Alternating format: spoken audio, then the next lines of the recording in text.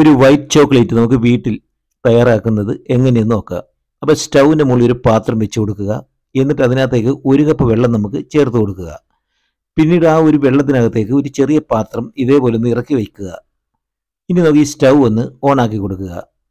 Stove ഓണാക്കി കൊടുത്തതിന് ശേഷം നമുക്ക് ഇനി ഇതിനകത്തേക്ക് ഒരു അരക്കപ്പ് വെളിച്ചെണ്ണയും കൂടെ ഒഴിച്ചു കൊടുക്കുക അപ്പോൾ ഈ ഒരു വെളിച്ചെണ്ണ ഒഴിച്ചു കൊടുത്തതിന് ശേഷം ഇത് നല്ലതുപോലെ ഒന്ന് ചെറുതായി ചൂടായി വന്നു കഴിയുമ്പോൾ നമുക്ക് ഇതിനകത്തേക്ക് ചേർത്ത് കൊടുക്കേണ്ടത് പഞ്ചസാര പൊടിയാണ്.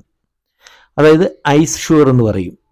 ഈ ഒരു പഞ്ചസാരപ്പൊടി തയ്യാറാക്കുന്നത് സാധാരണ നമ്മുടെ പഞ്ചസാര മിക്സിയിൽ വെച്ച് നല്ലതുപോലെ തരികളൊന്നും ഇല്ലാതെ പൗഡറായിട്ട് ഇതേ രീതിയിൽ അടിച്ചെടുക്കുന്നതാണ് നമ്മൾ ഈ ഒരു ഷുഗറായി ഇതിനകത്തേക്ക് ആഡ് ചെയ്യുന്നത്.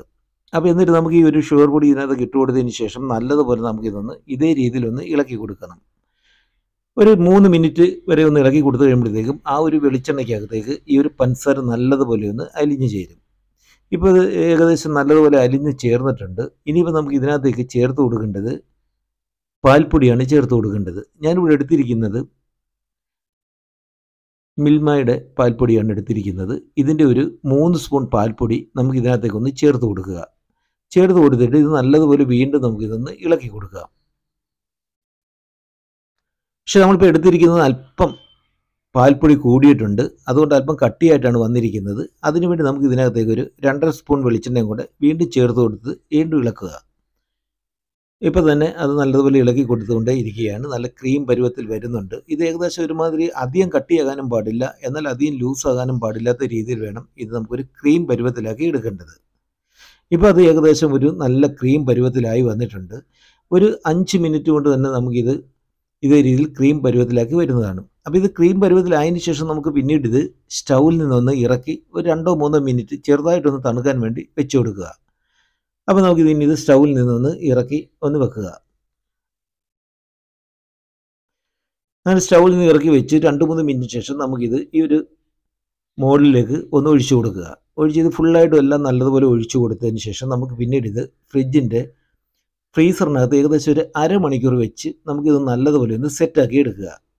തീർച്ചയായിട്ടും നിങ്ങൾ ഇത് വീട്ടിൽ തയ്യാറാക്കി നോക്കുക. നമ്മൾ കടകളിൽ നിന്നും ഒരുപാട് പൈസ കൊടുത്ത് മേടിക്കുന്നതിന്റെ പകുതി ചിലവ് പോലും ഇല്ലാതെ ഒന്നിലധികം ചോക്ലേറ്റ് നമുക്ക് തയ്യാറാക്കാൻ സാധിക്കുന്നതാണ്.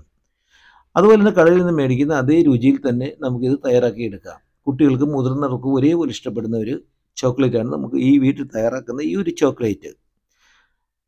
അപ്പോൾ ഇത് ഏകദേശം എല്ലാം നമ്മൾ നല്ലതുപോലെ അത് ഒഴിച്ചു കഴിഞ്ഞിട്ടുണ്ട്. ഇനിയിപ്പോൾ നമുക്കിത് ഫ്രീ ഫ്രീസറിലേക്കൊന്ന് മാറ്റാം. അപ്പോൾ ഞാൻ ഫ്രീസറിലേക്ക് മാറ്റി അരമണിക്കൂറിന് ശേഷം ഇത് ഞാൻ കൊണ്ടുവന്നിട്ടുണ്ട്. നല്ല കറക്റ്റായിട്ട് നമുക്ക് കിട്ടിയിട്ടുണ്ട്. അപ്പോൾ നമുക്കിതൊന്ന് എടുത്ത് ചെറിയ ചെറിയ പീസുകളാക്കി ആ ഒരു വെളുത്ത പാത്രത്തിലേക്ക് നമുക്കൊന്ന് ഇട്ട് കൊടുക്കുക. അതുപോലെ തന്നെ നിങ്ങൾ ഈ ചാനൽ ആദ്യമായി കാണുകയാണെങ്കിൽ തീർച്ചയായും ഒന്ന് സബ്സ്ക്രൈബ് ചെയ്യുക. ഒപ്പം തൊട്ടടുത്തുള്ള ബെൽ ബട്ടണിൽ ഒന്ന് അമർത്തി കഴിഞ്ഞാൽ തുടർന്നുള്ള എന്റെ എല്ലാ വീഡിയോസിന്റെയും നോട്ടിഫിക്കേഷൻ നിങ്ങൾക്ക് അപ്പോഴപ്പോൾ കിട്ടുന്നതായിരിക്കും. കണ്ടില്ലേ? നമ്മുടെ ഒരു വൈറ്റ് ചോക്ലേറ്റ് വളരെ നല്ലതുപോലെ വന്നിട്ടുണ്ട്. രുചിയും നമുക്ക് കടകളിൽ നിന്ന് വാങ്ങുന്ന അതേ രുചിയിൽ തന്നെയാണ് നമുക്കിത് കിട്ടിയിരിക്കുന്നത്. വളരെ ഈസിയായിട്ട് തയ്യാറാക്കാം. മൂന്നേ മൂന്ന് ചേരുവകൾ കൊണ്ടാണ് തയ്യാറാക്കുന്നത്. പാൽപ്പൊടി വെളിച്ചെണ്ണ അതുപോലെ തന്നെ ഐസ് ഷുഗർ ഇത്രയും സാധനങ്ങൾ